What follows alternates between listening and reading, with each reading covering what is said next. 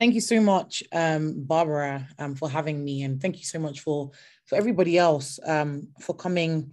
You know, I'm sure everyone's just closing up from work and you know spending their evenings here. Really, really grateful that you're all here to hear more about what, what I have to speak about. Um, I'm going to present my screen shortly, um, but first of all, I want to get the room warm a bit. So please, if you just introduce yourself in the chat, um, you know, tell us your name. I, I, know people have put their name already. You know, what do you do? Why are you interested in data? Um, and you know why you've decided to tune in tonight. Um, you know, on on this meetup. So please get the chat chat warm. I really want to see and engage with you. I want this to be as interactive as possible. So yes, let the chat the chat get warm. Okay. Awesome. So as Barbara said, my name is Oyin Adebayo. Full name is Oyinkansola Adebayo. So you might be wondering where does that name come from? Um, I'm Nigerian by origin, um, and I grew up partly Nigerian, grew up here as well. Um, now, today I'm going to be talking about the importance of Black and ethnic minority women in data. Um, you know, I'm going to also talk a little bit about like, you know, my background um, and where I've come from. Currently, I'm privileged to serve as the founder and the CEO of a company called Niyo Enterprise. Um, hey, hey, Anjali, lovely to meet you. Lovely to meet you.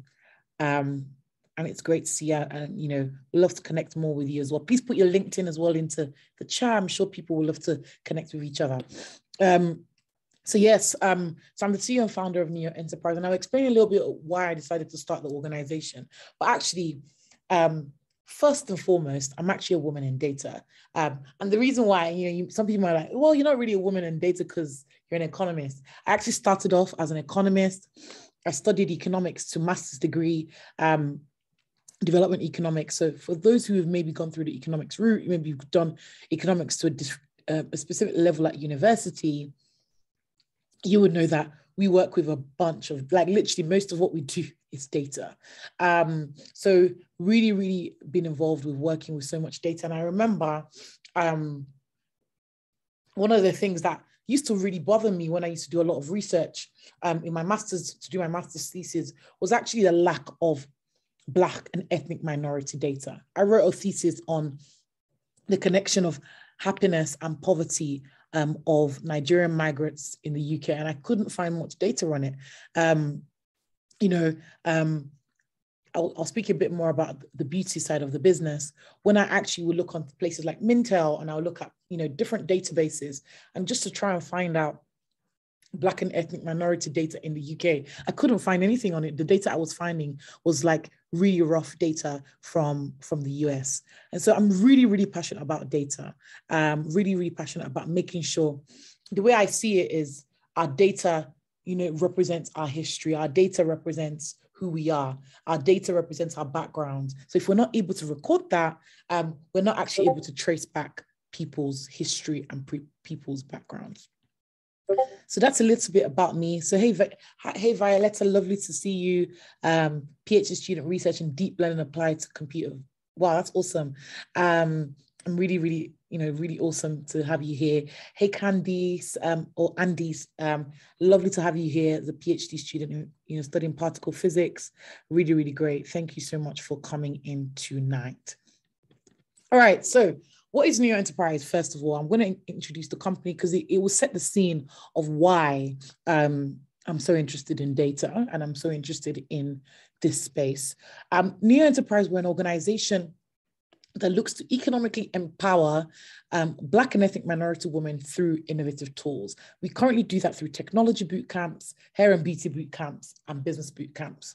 Um, so, um, so Barbara just mentioned that she was part of our data boot camp called the Black Disruptor Data Analytics and Project Management Boot Camp.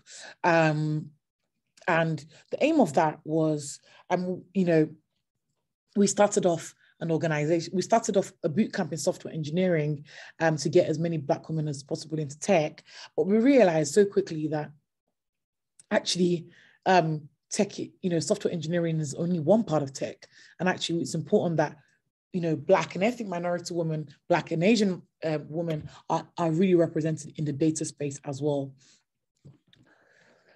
So I started this organization as well because I was really bothered about income poverty. Did you know that 40% of the UK's black household experience income poverty and work, work in low skill employment? And if we even look at the wider, if we look at the black and ethnic minority wider group, I'm sure it's, you know, it's a lot more as well. Um, and for me, I really wanted to solve this, not just by representing us in the data space, but also making sure that we are economically empowered. Remember, I mentioned earlier on that I, my focus is about economically empowering women, really, really making sure that we have level, equal level playing fields when it comes to um, playing in different industries that we that we find ourselves in. Um, and guess what? If you're in income poverty, the last thing you're thinking about is making sure that your data is being captured. And so it's important that we get people who may be experiencing these things to actually to actually be the producers of that of that ecosystem. So we've been able to train over 60 women so far in, in, in the Northwest to become data analysts and project managers. Um, and we're training a further 50 women in the West Midlands as well. So 110 women so far. We're not doing too bad. Um, but one of the key things for us is to make sure that um, all these women are, are equipped so that they can actually go on and work in data again, um, why did I start? Why did I actually go down this route? Um, and why did I go down data? I mean, it started off with me actually looking at the Maslow's hierarchy of needs.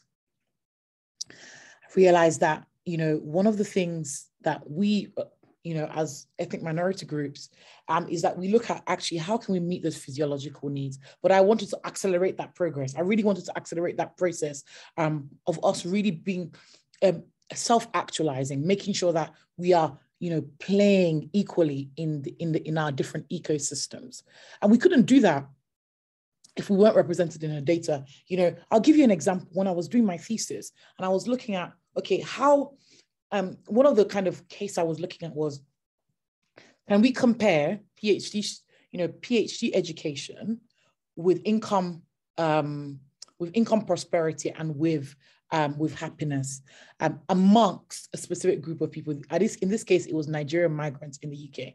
And I couldn't find much data. I think out of that, that full data set of m- multiple data points, there was only four, four, um, four people from that group um, of representative, that sample group. Um, and by the way, the sample size was around 10,000. Out of 10,000, there was only four. um, and so you understand that actually it's really important that we engage people and engage these groups black and ethnic minority groups to be the producers so that they can engage their communities to ensure that we're actually contributing to those data sets because um, without data and without understanding of what without data we were actually um, truly we're not able to actually truly understand what's going on in our community. I remember I tuned into um, a presentation by somebody from the co-op here at the you know meetup group sometime last year, and we're looking at you know um, how co-op was able to um, you know disseminate community data, and I began to ask questions about okay, what does that community data look like from a demographical perspective, e.g., Black women, e.g., um, Asian women, um, and we couldn't answer that question because we couldn't go we couldn't go, um, we, we couldn't, you know, devolve that data enough. We couldn't make it a, a lot smaller. And for me, um, out, you know, for example, if if we're saying that, okay, out of the 100 people that we were we were able to survey, 40% of those people, um, you know, um, were poor, for example, um, and 60% were rich what what what you know what are the different contributors to the to, to, poverty? And race and ethnicity is one of the key things that we cannot ignore. Um so back to what i was talking about when it comes to the maslow's hierarchy of needs um really really important for us to make sure that we are really looking at this in terms of actually using our data points to inform us of the type of work that we need to do in different communities, in different cities, in different regions, in different nations, to be able to make sure that we live in a more, more equitable world. Hey, Elisha, lovely to meet you. You're from Birmingham. I'm in Birmingham as well. Um, it's good to see you here. Um, have a few months worth of knowledge in code and but more interested in data. Love, I would love to connect with you. So I'm going to add you on LinkedIn later on. Hey, Sarah from Manchester, works as a data analyst um, in in Wedger. Love, lovely to meet you. Hey, Cami, doing a postgrad in smart cities and some interesting profiles here. Really, really good to have you all here. Thank you so much for joining. Okay, so um, another reason why um really interested in data is because women have higher rates of poverty than men across um, almost all races and ethnicities. Um, and you, as you can see here, you know, this is an American, this is American data. I couldn't find anything from the UK. Um, but you can see that when you compare the men and the women, we we we have higher rates of poverty. And actually, it's not just that data. Actually, it helps us to understand what's going on in our ecosystem, working in data pays. How many people here know that working in data does pay? You know, it pays. So for us to be able to actually see this change, we need to make sure that women are playing in the data space, in the data field. And so um, for us at Niyo, one of the things that we do to ensure that we're able to change this narrative is, is building women who have the right spirit, the right knowledge, the right understanding, the right wisdom, and the right kind of skills to build and produce disruptive products and services um, that change the face of culture. So want, we want to be able to see those statistics change. We want to be able to see more women in data, more, more women playing, and also um, being economically empowered as well. So this is kind of, you know, the business and what, you know, how, how we run. So we've got two, we've got two arms, Niyo Hair and Beauty and Niyo Network. Niyo Network currently houses all of our different boot camps. Our Black Codher Software Engineering Boot Camp, which essentially aims to get as many Black women as possible um, into software engineering. Um, we've trained over 150 women. Um, different different people have gone into different companies like KPMG, um, some government departments, um, Citibank, and the likes. And also, we're currently training women in data as well. Um, and so they're all going through different routes. They're learning. I'm sure Barbara will be able to tell you about what she's been able to learn, but they're learning from Excel to Python to SQL. You know, in order to be equipped to be able to go into into tech.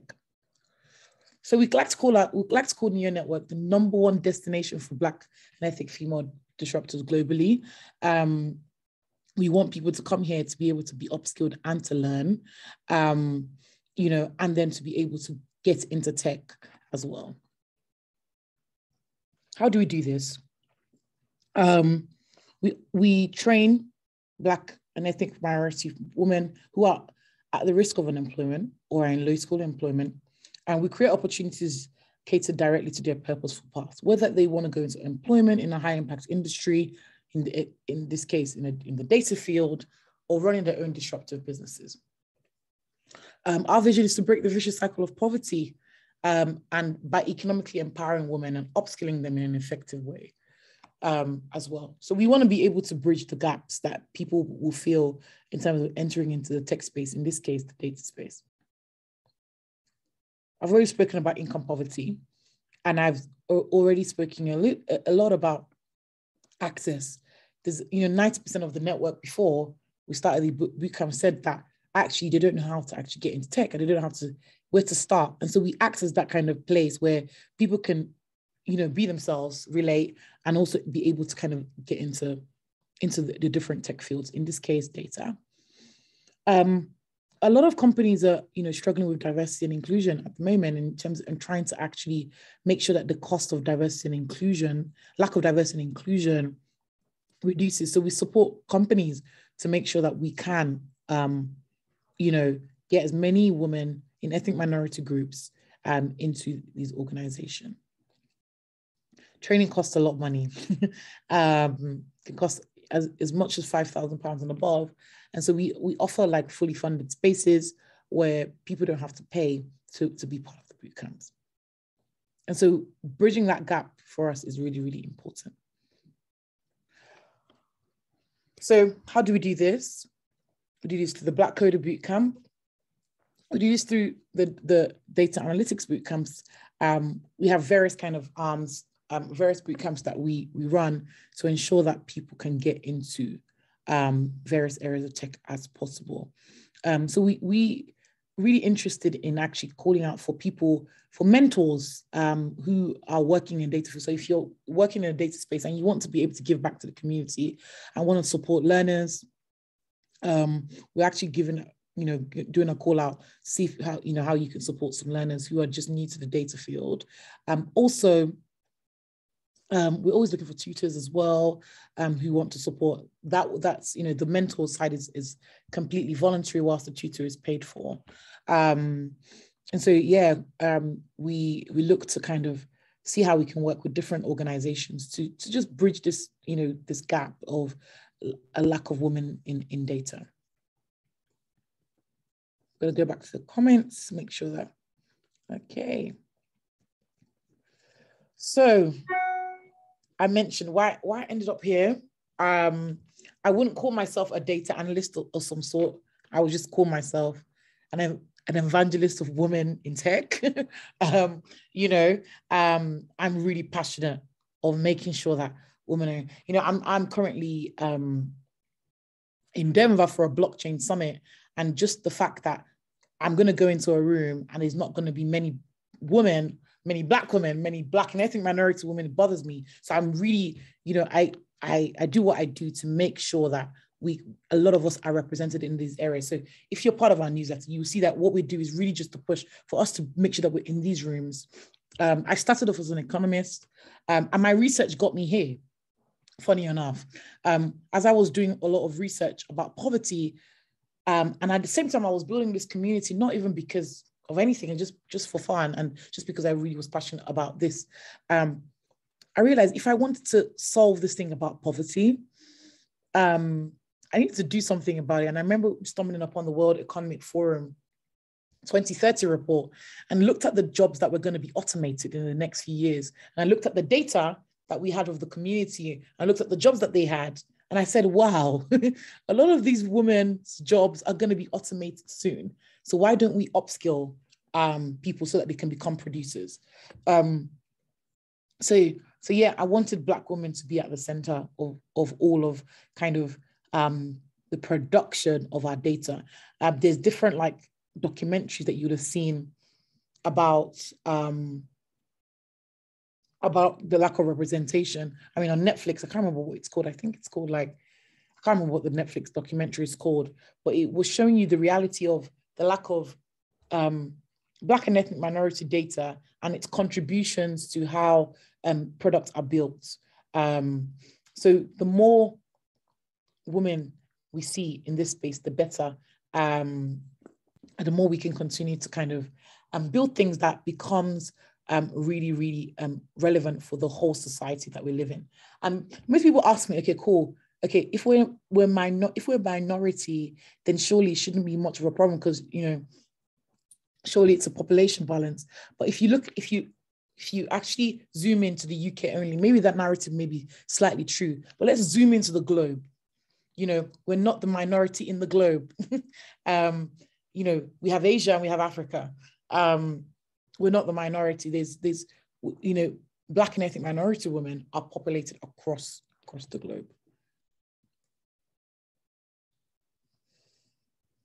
Sorry, it keeps going back. Bear with me. Okay, so impact. Um, I want to be able to train even more women to get into, into different areas of tech, open up more, more doors, you know, start like different scholarships for women to be able to really break those barriers um, and get people into high impact roles. Um, so yeah, that's pretty much me. I'm open to having questions now. Um, and if you want to get in touch with me, um, I'm on LinkedIn. It's Oyinkansola Adebayo on LinkedIn, and you can email me if you also need to as well, or in niyoenterprise.com. Thank you so much for having me.